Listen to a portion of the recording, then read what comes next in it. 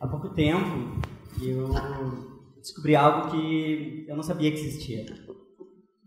Algo que hoje me parece óbvio, mas que eu nunca tinha experimentado. Que é o poder do afeto na construção de grandes transformações. Se eu pudesse voltar poucos anos, alguns anos atrás, dificilmente eu entenderia como que esse, esse tipo de processo pode acontecer. Até porque sempre me disseram que o que transforma é o conhecimento e que estudar é o que me garantiria uma vida de sucesso. Há três anos, mais ou menos, eh, eu participei de um jogo eh, que começou a desconstruir um pouco isso que tinham me dito. Eu tive presente numa das etapas finais desse jogo, que consistia num, num mutirão de construção de uma praça. E a maneira como as pessoas se relacionavam nesse, nesse espaço, nesse momento, foi algo que me chamou muito a atenção. Todo mundo conversava muito, as pessoas se divertiam muito durante esse trabalho. E eu saí, depois de um final de semana, com uma única certeza, de que eu queria viver mais disso. Eu queria mais disso na minha vida, eu queria, queria ter mais momentos assim. E foi o que eu fiz. Eu fui atrás das pessoas que organizaram esse jogo, esse, esse projeto, e consegui participar, enfim, de, de outras edições é, e de outros momentos. Esse jogo, basicamente, se divide em sete etapas que convidam um grupo de pessoas para descobrir sonhos comuns entre eles e que eles realizem esses sonhos num desafio de curto prazo, num curto espaço de tempo, com os recursos que estiverem disponíveis ali naquela hora. Para sustentar isso, esse processo, o, a proposta do jogo é que sejam criadas uh, relações de afeto antes do medo e do julgamento. Tudo inicia uh, através de um exercício, de um olhar apreciativo sobre a comunidade que está recebendo esse jogo. Nós saímos para conhecer o local de olhos vendados. E isso uh, é com o objetivo de despertar os nossos outros sentidos para que a gente possa, aos poucos, reunir mais informações, para que a gente consiga entender melhor o local que a gente está visitando.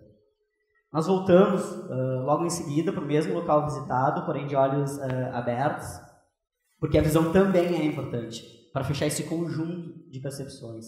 E com isso, poder encontrar, poder buscar o que é mais importante nesse momento, que são as belezas que já existem nesse local as coisas positivas que se encontram ali, ao invés do que supostamente esteja faltando. Depois de reunir essas percepções e de compartilhar essas experiências, nós partimos para um momento uh, de construção de relações. Então nós voltamos para a rua, nós voltamos para esse espaço, atrás das pessoas que estão por trás dessas belezas reconhecidas, as pessoas que estão envolvidas nessas belezas que foram percebidas por nós. Uh, nós nos permitimos simplesmente interagir com elas. A gente não vai fazer uma pesquisa, a gente não vai fazer uma entrevista, a gente não vai fazer um questionário. A ideia é simplesmente interagir, se permitir se relacionar naquele momento sem ter um, um objetivo final. O objetivo é estar presente ali, é se relacionar. Eu gosto muito de um exemplo de uma senhora que eu conheci uh, na cidade, numa cidade de São Paulo, do estado de São Paulo. Ela, ela fazia muitos doces, assim. Eu fiquei sabendo que ela produzia muitos doces, ela vendia esses doces ali no bairro dela. E eu fui até a casa dela e, e eu contei que a minha família, por parte de mãe, faz muitos doces, assim. Já é, um, é algo meio que de tradição, assim. As mulheres que produzem muitos doces. E com certeza, na hora que eu contei isso para ela, é, eu deixei transparecer que, que isso era muito importante, que isso tinha um valor muito significativo para mim, era algo especial. É difícil a gente esconder na fisionomia algo que seja especial para a gente. A partir daí, eu perguntei se ela poderia me mostrar um pouco do trabalho dela, se ela não se importaria. Ela me convidou, eu entrei na, na casa dela e nós passamos uh, praticamente toda a tarde conversando e também cozinhando. Nessa conversa, eu me coloquei muito mais como ouvinte. Eu deixei claro para ela que o importante naquele momento é o que ela tinha para me transmitir, o que ela tinha para me oferecer. Uh, essas práticas, elas nos permitem criar relações de confiança com as pessoas, relações de cuidado. É, todos nós gostamos de saber que outra pessoa gosta de algo feito por nós. Nós gostamos de saber, de reconhecer que outra pessoa admira algo que também é especial para a gente. Ter demonstrado uh, admiração e um interesse real, porque era real aquilo, aquilo estava conectado com algo especial para mim, criou uma conexão imediata entre nós. É como se o sinal verde tivesse sido dado para que a gente pudesse estabelecer uma, uma relação de confiança. Essas relações estabelecidas, a gente parte para um momento uh, de buscar os sonhos. A gente procura de novo essas pessoas e, e, começa a falar um pouco sobre que sonhos existem dentro naquela, comunidade. Isso é uma tarefa muito difícil, assim, não é muito fácil uh, falar de sonhos, principalmente com pessoas que nós acabamos de conhecer. Uh, pensem aqui comigo, uh, rapidinho. Vocês saem por aí contando os seus mais belos sonhos, seus maiores desejos para as pessoas que vocês acabaram de conhecer. Me parece pouco provável Tá? Não impossível, mas pouco provável que isso aconteça. Até porque, convenhamos, às vezes é muito difícil de falar de sonhos. Né? Às vezes é difícil até definir isso. Me parece muito íntimo, muito profundo e muitas vezes acho que requer uma reflexão a respeito disso. Eu mesmo agora teria muita dificuldade de dizer para vocês qual o meu grande sonho, qual o grande sonho da minha vida. O importante agora, nessa etapa do jogo, não é definir um grande sonho, mas sim criar a possibilidade de que alguns sonhos, que sonhos comuns possam emergir ali naquele grupo. O sonho tem um papel muito importante, que é o de impulsionar a transformação. O que facilita o nosso acesso aos sonhos mais preciosos dessas pessoas foram essas relações que nós construímos anteriormente. Etapa seguinte é a de cuidar desses sonhos. Nós uh, pensamos nos projetos e criamos as estratégias de como que esses sonhos uh, podem se realizar. Todos aqui têm a oportunidade de opinar e dizer como gostaria que fosse o sonho, tipo, cor, tamanho, função, enfim.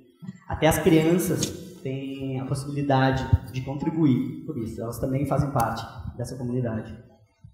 Uh, Estratégias definidas, a gente bate por mão na massa, é hora de fazer acontecer esse sonho, de materializar ele.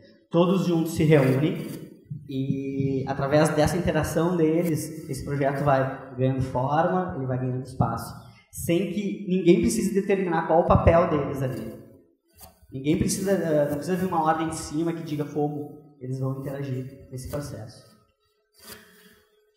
Etapa de mão na massa concluída, sonho materializado, a gente vai uh, para um momento de reconhecer e celebrar o resultado obtido, mas principalmente a participação de cada uma das pessoas envolvidas nesse processo. Nós convidamos o grupo nesse mesmo momento para falar sobre os sonhos que não puderam ter sido, sido comentados uh, e realizados naquele momento, em função de tempo, em função de recursos disponíveis naquela hora. A ideia é que eles saiam de lá com o esboço desse projeto, com o esboço desse sonho, com as pessoas que assumem a responsabilidade por fazer esse sonho acontecer e os passos seguintes, o que vai acontecer nos próximos dias. É, eu gosto de trazer um exemplo de uma comunidade que sonhou uma creche comunitária para o bairro onde eles moravam. E eles fizeram isso, num mutirão de dois dias de trabalho com os recursos estavam disponíveis. Pouco tempo depois, eles se reuniram e decidiram que queriam ampliar essa creche e deixar ela mais de acordo com o que eles realmente sonhavam. É, eles criaram as estratégias, definiram né, o que, que ia acontecer, conseguiram os recursos e eles conseguiram fazer a creche que eles realmente sonhavam com aquele espaço. O mais interessante disso é que não foi uma ordem de cima, ninguém chegou lá e disse para eles: vocês precisam fazer isso. Isso aqui é importante para vocês, isso aqui vai mudar a vida de vocês. Foi um sonho comum, foi algo desejado por eles, algo que eles mesmos se organizaram, definiram as estratégias e buscaram a realização disso. Aqui, esse jogo que eu contei termina. Ele vem até esse momento. Uh, a partir de agora, um novo ciclo de relações surge.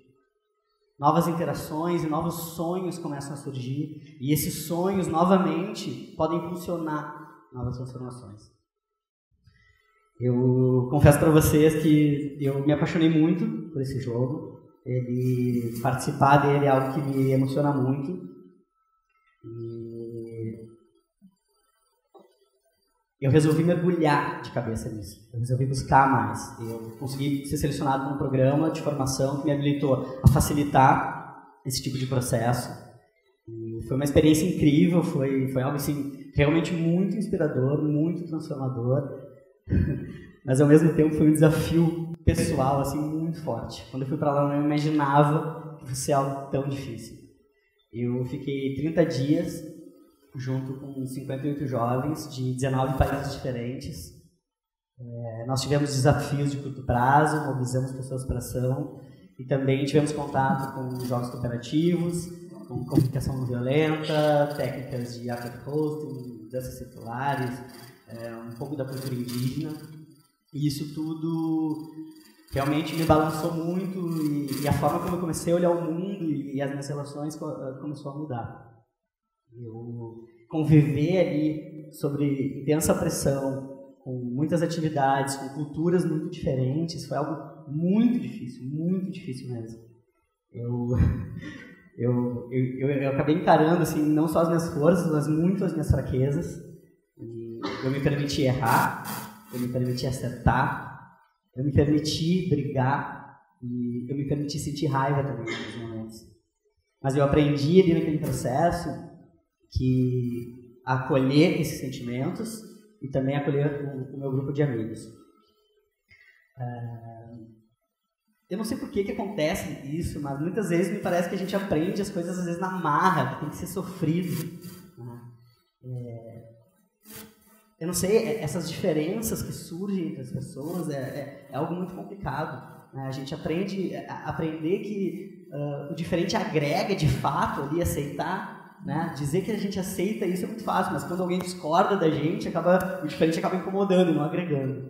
Então, perceber isso e perceber que fazer junto é melhor e que muitas vezes o processo é mais importante do que o resultado, foi algo que aos poucos foi surgindo. Quando eu me dei conta disso, eu comecei a rever o próprio jogo que eu tinha aprendido.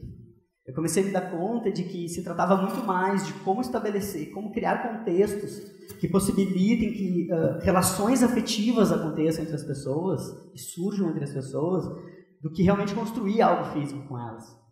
Esse físico tem uma importância ali, mas ele é só o início perceber hoje, e isso talvez possa ser muito simples, mas foi algo que eu levei três anos de experiência para conseguir captar esse, é, o que, que eu estava fazendo nessas atividades. Me dando conta disso, eu comecei a me fazer perguntas de como levar isso para outros contextos.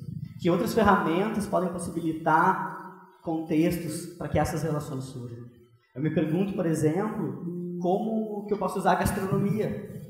Por exemplo, a gastronomia para criar relações de afeto como que eu posso usar o esporte, já que ele me parece extremamente competitivo? Como levar isso para projetos de ajuda humanitária, mudando a lógica do ajudar para a lógica do me relacionar? E até mesmo, como levar isso para o nosso dia a dia, para as minhas relações pessoais, para as minhas relações de trabalho? Como fazer isso? Eu acredito que. Eu acredito muito nessas ações. Eu acredito muito nessas ações locais eu acho que elas têm uma grande capacidade de gerar um impacto a nível global, eh, assim como sistemas emergentes, de baixo para cima, sem que tenha que ter uma determinação de alguém, uma ordem de alguém para dizer, ó, oh, vocês eh, devem fazer isso para que a vida de vocês sejam melhores. Eu penso que essas relações acabam se tornando importantes e o que determina o que vai surgir dessas interações das pessoas são justamente essas relações.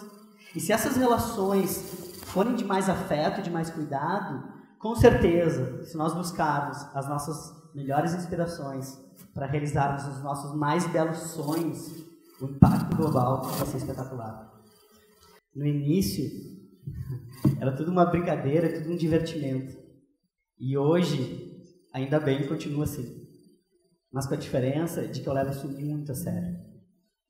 Eu escolhi esse caminho.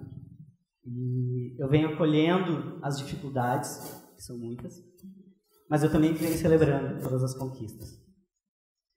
Eu tenho tentado no meu dia a dia praticar mais a comunidade e o ser humano. E nesse momento eu deixo um convite para vocês, para que vocês brinquem mais, para que vocês se divirtam mais, para que vocês se permitam interagir com seus vizinhos, com seus colegas de trabalho, com as pessoas que estão aqui no intervalo, para que vocês se permitam descobrir o que, que emociona cada uma dessas pessoas, o que, que é importante, o que, que elas gostam de fazer. Para que vocês se permitam interagir sem medo do desconhecido. E que, se possível, deem um abraço agora na pessoa que estiver do lado de vocês. Muito obrigado.